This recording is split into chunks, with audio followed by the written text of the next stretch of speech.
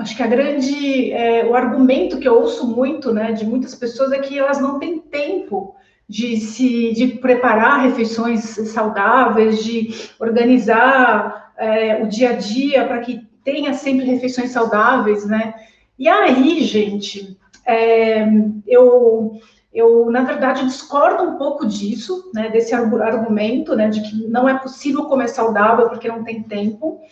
porque, na verdade, é, comer saudável requer, sim, um pouquinho de dedicação, de organização, né, de planejamento, para que a gente consiga é, montar refeições saudáveis, né, independente é, do padrão